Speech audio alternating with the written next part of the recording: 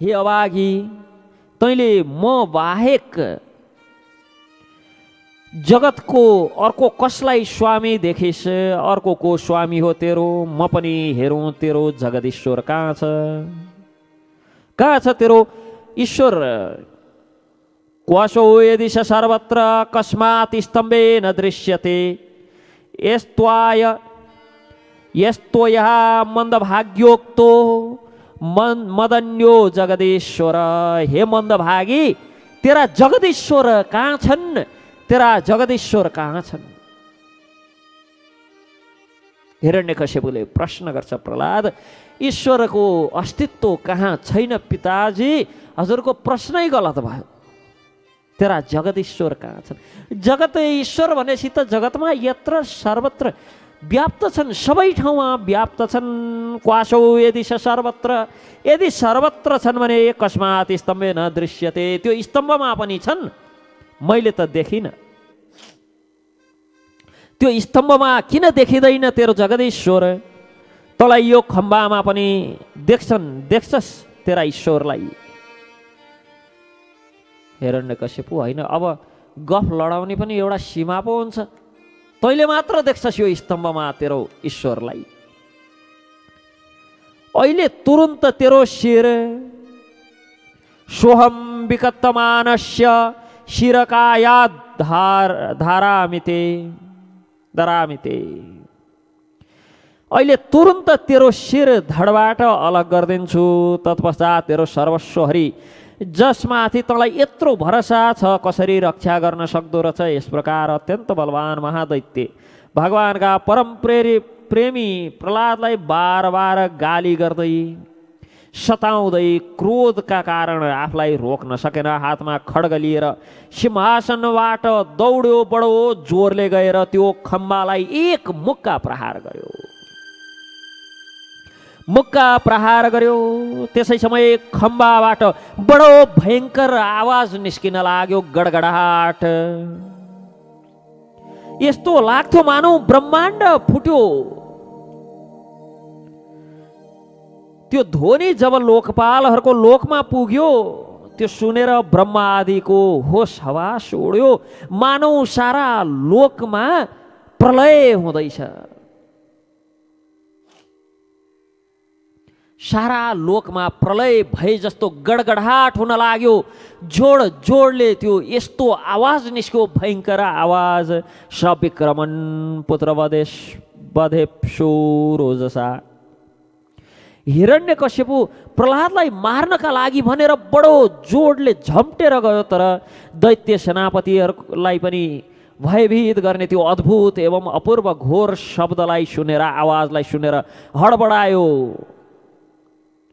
र यता उता दायाँ बायाँ हेर्न लाग्यो यस्तो आवाज यस्तो घोर शब्द कहाँबाट आयो केही पनि देख्न सकेन दायाँ र बायाँ हेर्दैछ यता हेर्छ उता हेर्छ आवाज कहाँबाट निस्क्यो यस्तो आवाज त्यसै समय सत्यम विधातुम निजभृत्य भाषितम व्याप्तिं च भूतेष्वखिलेषु चात्मन अदृश्यताद्भूतं रूपं मोद्वहन् स्तम्भे सवायं न नृ- मृगं न मानुषम्। त्यसै समय आफ्ना सेवक प्रहलादको एवं ब्रह्माको वाणी सत्य साबित गर्नका लागि सत्यम विधातुम विधाता ब्रह्माले वचन दिनुभएको थियो हिरण्य कश्यपुलाई आशीर्वाद प्रदान गर्नुभएको थियो। के भनेर आशीर्वाद प्रदान गर्नुभएको थियो त भन्दा तिम्रो न जलमा न थलमा न आकाशमा मृत्यु हुनेछ। अनि तिम्रो न द्वारभित्र न द्वार बाहिर अनि तिम्रो न दिनमा न रातमा यस प्रकार ब्रह्माको सृष्टि अन्तर्गतका कुनै पनि वस्तुले न नरले न जलचरले न थलचरले न पशुले न देवताले कसैबाट तिम्रो मृत्यु हुने छैन यस प्रकार ब्रह्माले वचन दिएका कारण ब्रह्माले वरदान दिएका कारण ब्रह्माको त्यो भाषणलाई सत्य साबित गर्न निजभृत्य भाषितम निजभृत्य आफ्ना निज सेवक आफ्ना दास प्रहलादको वचन सत्य गर्न। व्याप्तिम च र समस्त पदार्थहरूमा जगतका हरेक पदार्थमा ईश्वरको वास छ आफ्नो व्यापकता छ यो प्रमाणित गर्न। सभाको भित्र रहेको त्यो खम्बाबाट बडो विचित्र स्वरूप धारण गरेर भगवान् नरसिंहदेव प्रकट हुनुभयो। यस प्रकार भगवान् नरसिंहदेव त्यो हिरण्य कश्यपको सभामा प्रकट हुनुभयो। उहाँको स्वरूप स्तम्भे सभायाम त्यो स्तम्भबाट सभामा प्रकट हुनुभयो न मृगम न मानुषम न सिंह जस्तो न मनुष्य जस्तो भक्तवत्सल भगवान् श्री नरसिंहदेवको जय। यस प्रकार भगवान् नरसिंहदेव प्रहलादको वचन सत्य गर्न प्रहलादले त्यो खम्बामा पनि मैले मेरो ईश्वरलाई देख्छु। यति भनिदिनु भएको के थियो? भगवान् खम्बाबाटै प्रकट भइदिनु भयो। यहाँभन्दा परम दयालु को हुन सक्छ? कि आफ्ना निज भृत्य निज सेवक प्रहलाद त्यो भक्त प्रहलादको जो बालक शिशु पाँच वर्षको आयु त्यस्ता शिशुले बोलेको अब बच्चा बच्चीले भनिदिइहाले भनेर त्यसलाई गम्भीर रूपमा नलिँदै नि हुन्थ्यो। होइन आफ्ना भक्त पाँचै वर्षको आयु भए पनि बालकै भए पनि मेरा भक्तले बोलिसके पछाडि भगवान्ले बार बार यस्ता विभिन्न स्थानमा हामीले देख्न सक्छौँ। भक्तहरूको प्रतिज्ञा राखिदिनका लागि भक्तहरूको वचन सत्य पारिदिनका लागि भगवान्ले बार बार आफ्नै प्रतिज्ञा पनि तोड्नुहुन्छ। महाभारतमा भगवान्का अनन्य प्रेमी भीष्मदेवले या त भोलि अर्जुनको मृत्यु हुन्छ या त भगवान् स्वयंले आयुध उठाउनुहुन्छ। भगवान्ले त प्रतिज्ञा लिनुभएको थियो। म महाभारतको युद्धमा हतियार उठाउँदिनँ। मेरो हातमा आयुध हुने छैन। युधिष्ठिरले अर्जुन र दुर्योधनले चयन गर्ने बेलामा एकतर्फ अक्षौणी नारायणी सेना अनि एकतर्फ म त्यो पनि बिना आयुध हात हतियार नलिकन। अब त्यो हात हतियार लिन्न भनेर प्रतिज्ञा गरेका भगवान्लाई भीष्म पितामहले हेर्नुहोस् त। या त भोलि भगवान्ले आयुध उठाउँछन् नभए अर्जुन मा मर्छ। यो दुइटै सकिनँ भने मै मर्दिन्छु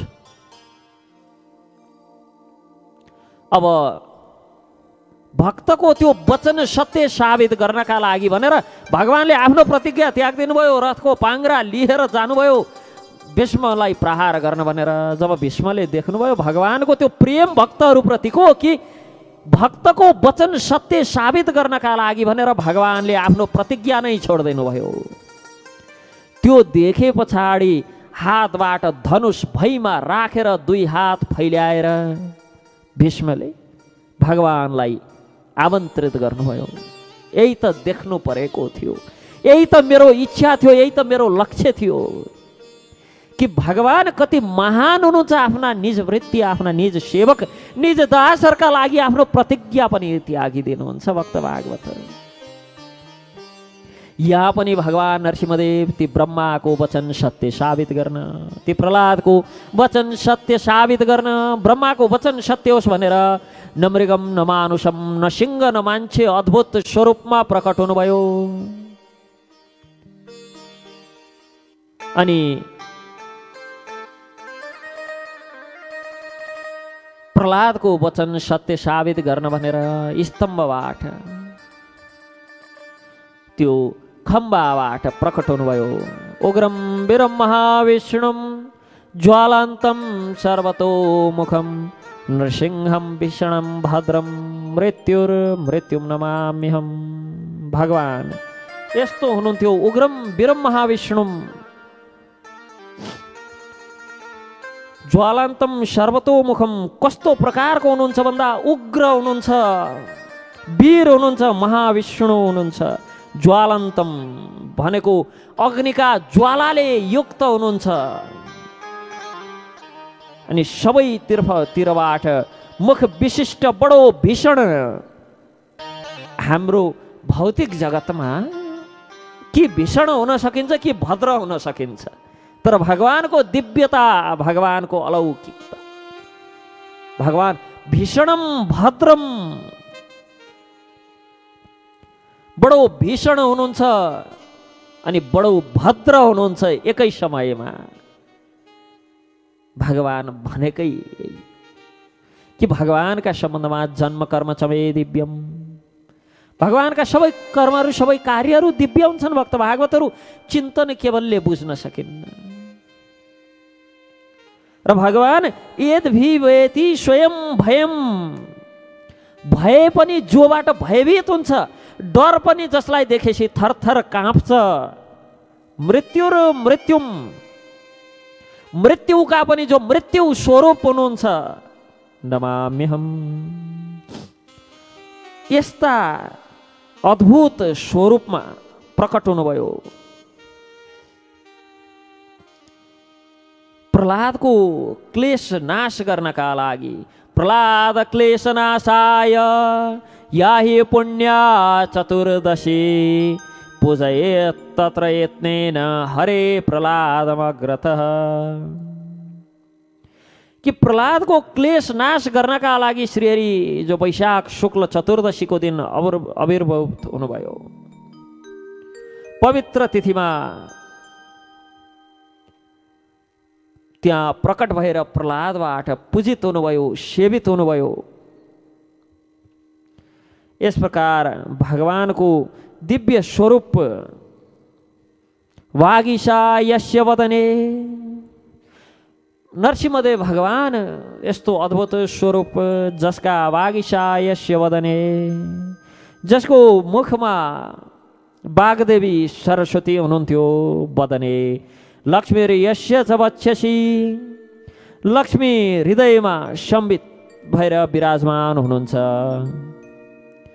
अनि प्रहलाद हृदयालादम जो प्रहलादका हृदयलाई आह्लादित गर्ने सन्तुष्ट पार्ने हुनुहुन्छ भक्त विद्या विदारणम भक्तहरूको अविद्या दूर गर्ने। शरद इन्दु रुचिम वन्दे पारेन्द्रम वदनम हरिम शरदकालीन चन्द्रमा समान अङ्ग शोभायुक्त सिंह वदन धारण गर्नुभएका केशव धृत नरहरि रूप। जय जगदीश हरे। जय जगदीश हरे। जय जगदीश हरे। भगवान केशव धृत नरहरि रूप। जय जगदीश हरे। यस्तो अद्भुत स्वरूपमा भगवान प्रकट हुनुभयो जस समय हिरण्य कसेपु यो आवाज कहाँबाट आयो भनेर यताउता आवाजको स्रोतलाई खोज्दै थियो त्यस समय खम्बाभित्रबाट निक निस्किँदै अद्भुत प्राणी जब दर्शन भयो सोच्न लाग्यो अहो नायम मृगो नापि नरो विचित्र यो त न मनुष्य हो न पशु फेरि यो नृसिंहको रूपमा यस्तो अलौकिक जीव को आयो जसमय हिरण्य कश्यपु यो सोच्दै थियो पहेली बुझाउँदै थियो। त्यस समय बिल्कुल अगाडि भगवान् सिंहदेव खडा हुनुभयो त्यो स्वरूप अत्याधिक भयावना पगालेको सुन समान पहेँलो वर्णको आँखा भएको। अनि यहाँ यो गर्दनभर कपाल रौँ भएको यता उताती लहराउँदै थिए कपालहरू सिंहको कस्तो हुन्छ? अनि ती कपालहरू बडो विकराल देखिने दारी तरवार तरह लपलपाउँदै गरेको छुराको धार समान तिखो जिब्रो अलि टेढा परेका आँखी भाउ दारुण मुखमण्डल कान निश्चल एवं माथिको ओठ अलि उठेको अलि फुलेको नाक खुलेको मुख पहाडको गुफा समान अद्भुत। बडो भयङ्कर तर बडो भद्र स्वरूप थियो भगवान् सिंहदेवको। सुन्दा नि बडो तुजुक लाग्छ भक्त भागवतहरू बडो भयङ्कर स्वरूप थियो तर बडो भद्र थियो। यो हो भगवत्ता। यस प्रकार विशाल शरीर स्वर्गको स्पर्श गर्ने गर्दन अलि मोटो र अलि सानो। छाती बडो चौडा कमर बडो पातलो। चन्द्रमाका किरण समान सेता सेता रौँहरू सारा शरीरमा चम्कने। चारैतिरबाट सयौँ भुजाहरू फैलिएको। ठुला ठुला नख आयुधको काम गर्ने। नङ ठुला ठुला आयुध समान। भगवानको छेउमा पुग्ने साहस कसैलाई भएन। चक्र आदि आफ्ना निज आयुध तथा वज्र आदि अनि श्रेष्ठ शस्त्रद्वारा सारा दैत्य दाम दानवहरूलाई भगाउनुभयो। हिरण्यकश्यपु सोच्न लाग्यो पक्कै पनि मायावी विष्णुले मलाई मार्नका लागि यस्तो ढङ्ग रचेको हुनुपर्छ तर यसको चलाकी मेरो अगाडि चल्दैन। यस प्रकार भन्दै एवं सिंहनाद गर्दै दैत्यराज हिरण्य कश्यपु हातमा गदा लिएर नृसिंह भगवानतर्फ दौड्यो नृसिंह भगवानलाई मार्न भनेर नृसिंह भगवानलाई आक्रमण गर्न भनेर आघात गर्न भनेर तर जसरी पुतली आगोमा गएर आगोमा परेर अदृश्य हुन्छ त्यसै गरी त्यो दैत्य भगवानको तेजभित्र कहाँ गएर हरायो थाहै भएन। जसरी बडो तेजले बलेको आगोमा पुतली गएर झुम्मे पछाडि त्यहीँ हराउँछ नि। त्यसै गरी जसरी सूर्यको अगाडि सानो दीपकको तेज धुमेल हुन्छ हराउँछ देखिँदैन त्यसै गरी समस्त शक्ति एवं तेजका आश्रय भगवानलाई प्रहार गर्न भनेर आघात गर्न भनेर दौडेर गएको हिरण्यक्ष त विलिन भयो हरायो भगवानको तेजमा समाहित भयो। सृष्टिको प्रारम्भमा आफ्नो तेजले प्रलयका निमित्तभूत तमोगुण रूपी घोर अन्धकारलाई पनि पिउने यस्ता भगवानमा जब हिरण्य कश्यपु गयो त्यो तेजले समेटियो तेजमै हरायो। त्यस्ता भगवान् श्री नृसिंहपतलाई बडो क्रोधले आफ्नो गदाले बडो जोरले घुमाएर प्रहार गर्यो भगवान्। नरसिंहदेवलाई प्रहार गर्दा जसरी गरुडले सर्पलाई समात्छन् जसरी बिरालोले मुसालाई समात्छन् त्यसै गरी भगवान्ले गदासहित त्यो दैत्यलाई हातले चपक्क समात्नुभयो र खेल्न लाग्नुभयो। जसरी क्रीडा गर्दै गरुडले सर्पसँग खेल्छन् बिरालोले मुसासँग खेल्छन्। बिरालोको पकडमा आइसकेको मुसालाई बिरालोले के गर्छ त? समात्छ फेरि छोडिदिन्छ अनि फेरि खुर्र दौडेर गएर समात्छ मुसोलाई ओहो बल्ल बल्ल फुत्के भन्ने लाग्छ र दौडेर भाग्छ फेरि बिरालोले जान्छ समात्छ यसै गरी त्यो दैत्यका साथमा भगवान् खेल्न लाग्नुभयो त्यस समय सबै लोकपालहरू बादलमा लुकेर यो युद्ध देख्दै थिए स्वर्ग त हिरण्यकश्यपुले पहिल्यै हरण गरिसकेको थियो अनि जब भगवान्ले समात्नुहुन्थ्यो त्यो हिरण्यकश्यपुलाई बडो खुसी भएर बादलबाट अलि बाहिर निस्केर हेर्थेर ताली बजाउन लाग्थे जब भगवान् नृसिंहको चङ्गुलबाट पन्जाबाट त्यो असुर छुट्थ्यो आत्तेर डराएर फेरि बादल पछाडि लुक्न जान्थे। त्यस समय सबै लोकपालहरू बादलमा लुकेर युद्ध हेर्न लागे। स्वर्गको लोक त बाँकी थिएन। जब भगवानको हातबाट हिरण्याक्ष छुट्थ्यो बडो डराउँथे हिरण्य कश्यपु पनि। नृसिंहबाट म आफ्नै बलवीर्यले छुटेँ वा मेरो बलवीर्यबाट डराएर आफ्नो हातबाट नरसिंहले छोडिदिएको हो।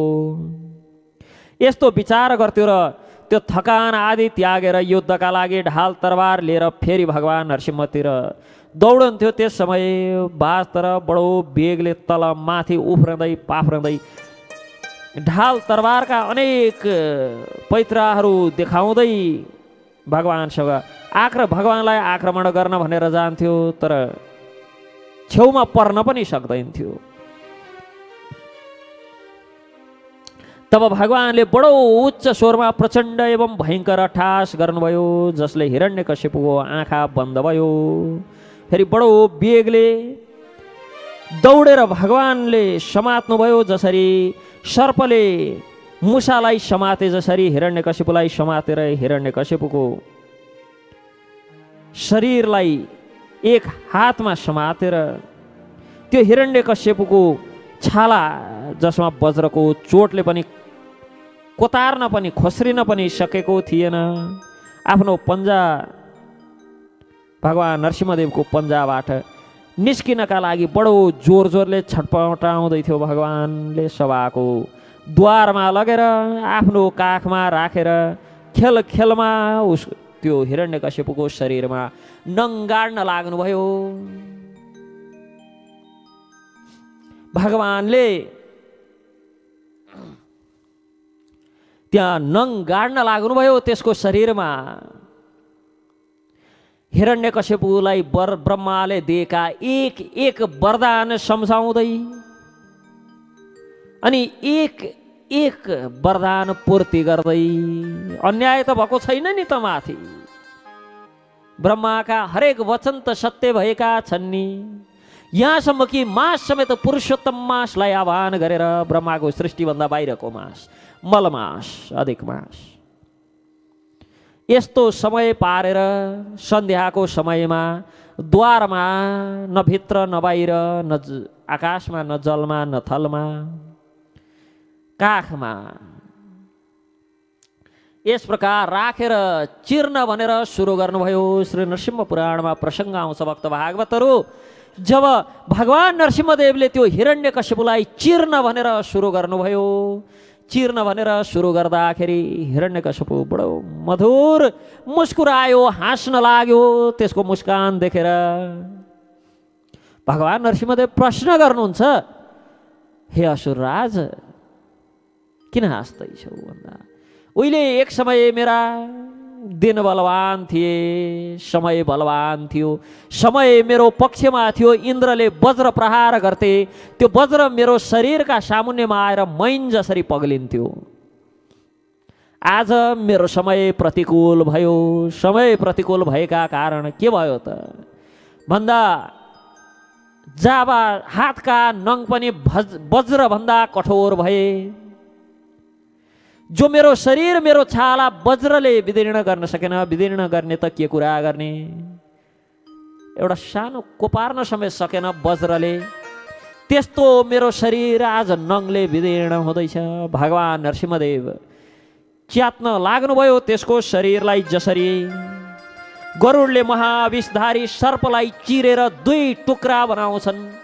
त्यसै गरी भगवान् नरसिंहदेवले त्यो हिरण्य कश्यपको शरीरलाई च्यातेर त्यसको आन्द्रा निकालेर गलामा माला जसरी लगाएर त्यो माला जसरी लगाउँदा त्यो रक्तले ती सफेद एकदम सेता सेता चन्द्रमाका किरण समान देखिने ती दारीहरू ती रौँहरू रक्त लोहित भए राता राता भए।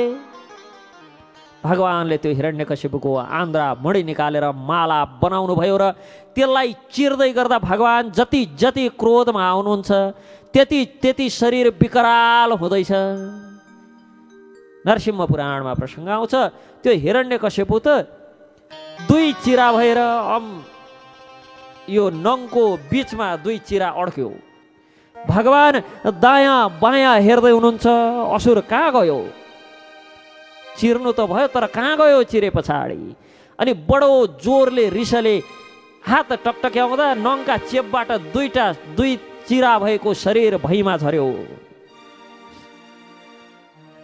त्यस समय क्रोधले भरिएको विकराल आँखा एवं भगवान्तिर हेर्ने कसैको हिम्मत भएन।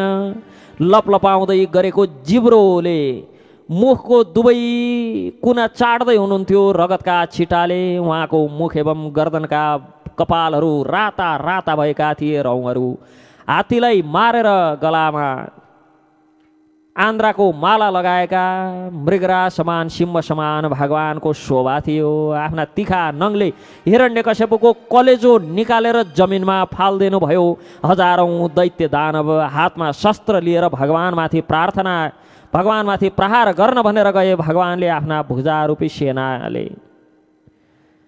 एवं नङ रूपी शस्त्रले सबैतर्फ दौडाइ दौडाइकन सबै असुरहरूको वध गर्नुभयो। त्यस समय भगवान् नृसिंहको गर्जनले सारा त्रैलोकी नै थरथर थरथर काँप्दै थियो। भगवान्ले जब शिर हल्लाउनुहुन्थ्यो भक्त भागवतहरू उहाँका ती शिर हल्लाउँदाखेरि रौँ कपाल आदिले बादल तितर बितर हुन्थे।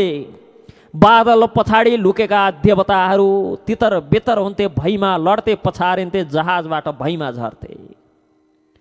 एकछिन अगाडिसम्म ती देवताहरूलाई हिरण्य कश्यपुसँग डर थियो। अब त भगवान्को विकराल स्वरूप अद्भुत स्वरूप देखेर भगवान्सँग पो डराउन लाग्यो।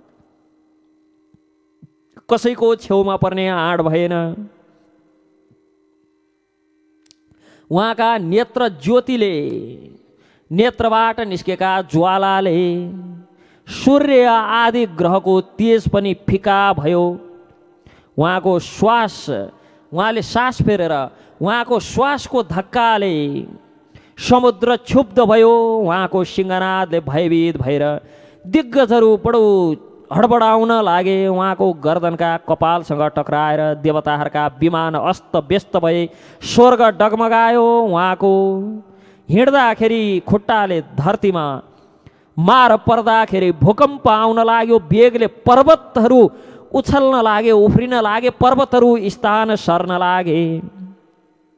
उहाँको तेजका कारण आकाश तथा सारा दिशाहरू देखिन छोड्यो जसरी हामीले सूर्यमा केही समय हेऱ्यौँ भने सारा जगत अन्धकारमय लाग्छ। त्यसै गरी नरसिंहदेवको अगाडि सारा जगत अन्धकारमय भयो। यस समय नृसिंह भगवानको सामना गर्ने कोही थिएन। क्रोध झन्झन बढ्दै थियो। हिरण्य कश्यपको राजसभामा उच्च सिंहासनमा गएर विराजमान हुनुभयो। त्यस समय उहाँको अत्यन्त तेजपूर्ण एवं क्रोधयुक्त भयङ्कर मुखमण्डल देखेर कसैको पनि सास भएन। उहाँको छेउमा गएर सेवा गर्ने। भगवान् स्वयं प्रकट हुनुभएको छ तर सेवा गर्ने सेवक कोही तयार छैनन् भक्त भागवतहरू स्वरूप यस्तो विकराल यस्तो अद्भुत थियो। जब स्वर्गका देवीहरूलाई थाहा भयो कि तिनै लोकलाई पीडा दिने मूर्तिमान पीडाको मूर्तिमान स्वरूप हिरण्यकश्यपु युद्धमा भगवानको हातबाट मर्यो तब आनन्दको उल्लासले सबै खुसी भए। बार बार भगवान्माथि पुष्पवृष्टि गर्न लागे। आकाशमा विमानबाट आएका भगवानका दर्शनार्थी देवताहरूको भिडले आकाश अँध्यारो भयो। देवताहरूको आगमनसँगै ढोल नगरा आदि बज्न लागे गन्धर्वराज गाउन लागे अप्सराहरू नाच्न लागे। यस यस समय ब्रह्मा इन्द्र शङ्कर आदि देवता ऋषि पितृ सिद्ध विद्याधर महानाग मनु प्रजापति गन्धर्व अप्सरा चारण यक्ष किम पुरुष बेताल सिद्ध किन्नर एवं सुनन्दन कुमुद आदि भगवान्का सबै पार्षदहरू त्यहाँ आए। सबै दुई हात जोडेर सिंहासनमा विराजमान अत्यन्त तेजस्वी श्री नरसिंहदेवको स्तुति गर्न लागे